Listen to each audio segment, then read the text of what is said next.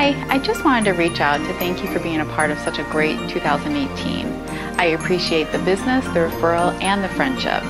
I hope you all have a great holiday season and an awesome 2019.